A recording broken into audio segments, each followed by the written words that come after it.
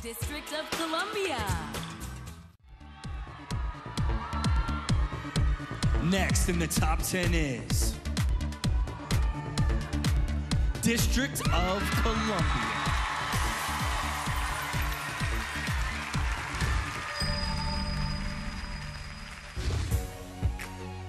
I'm a scientist at the United States Nuclear Regulatory Commission, and that's exactly what we do. We regulate nuclear power plants.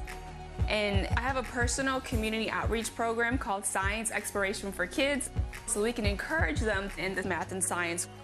Now take your, your Q-tip with the soap side, put it into the cup. Now take it in the middle of your plate, right in the middle of the colors. Seeing children having so much fun in science really gets my heart going. So if I were to win the title of Miss USA, my plan is to inspire and encourage so many children and women in the science, technology, engineering, and mathematics fields.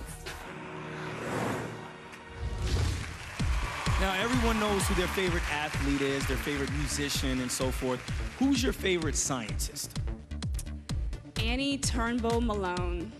So many of you may know who Madam C.J. Walker is, but Annie was actually Madam C.J. Walker's mentor. Not only was she a chemist, she was an entrepreneur as well as a philanthropist. So she made sure that she used her wealth from building her billion dollar empire for women's hair care products back in the 60s to empower so many women worldwide to pursue education. So I look at that as an admirable quality, especially as a woman who studied nuclear chemistry, and I look at that as a leader, such as Miss USA. If, if you would have been my science teacher, I would have paid more attention in class. Thank you so much, District of Columbia. District of Columbia. District of Columbia was born in Naples, Italy, and is hoping to become the seventh foreign-born Miss USA. Where'd wanna go? How much you wanna District of Columbia. Runway coach Lou says District of Columbia is one of the most intelligent contestants in recent memory.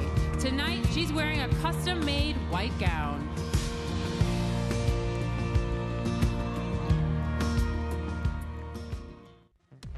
District of Columbia.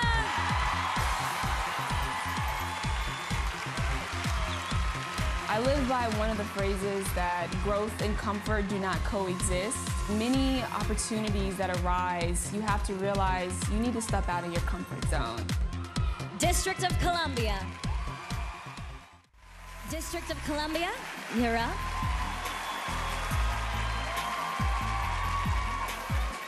Do you think affordable health care for all U.S. citizens is a right or a privilege, and why?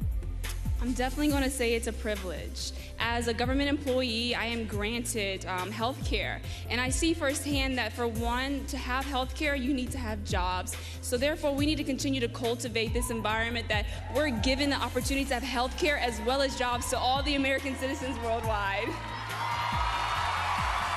Thank you, District of Columbia. The first contestant to earn a spot in the final three is District of Columbia.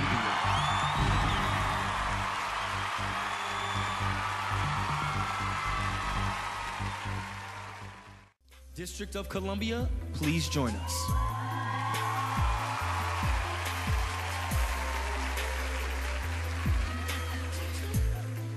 What do you consider feminism to be?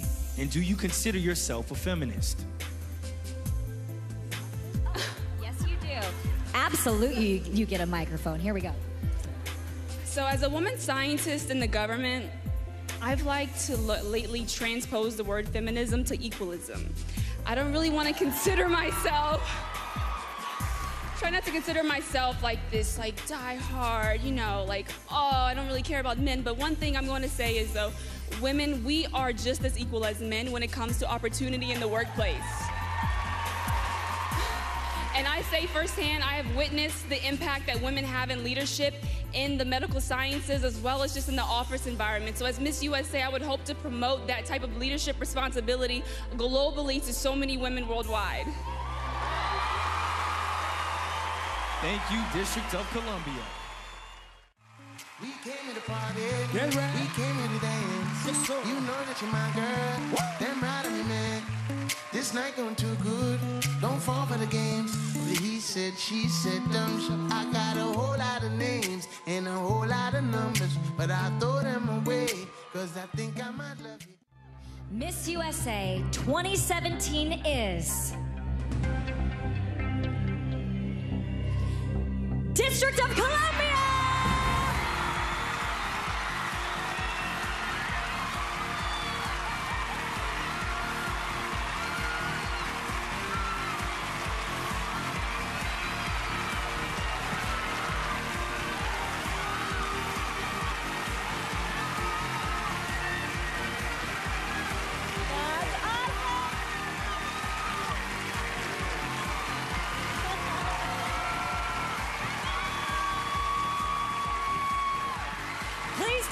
First walk as Miss USA!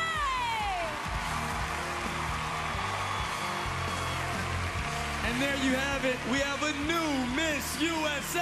Thank you all. Good night.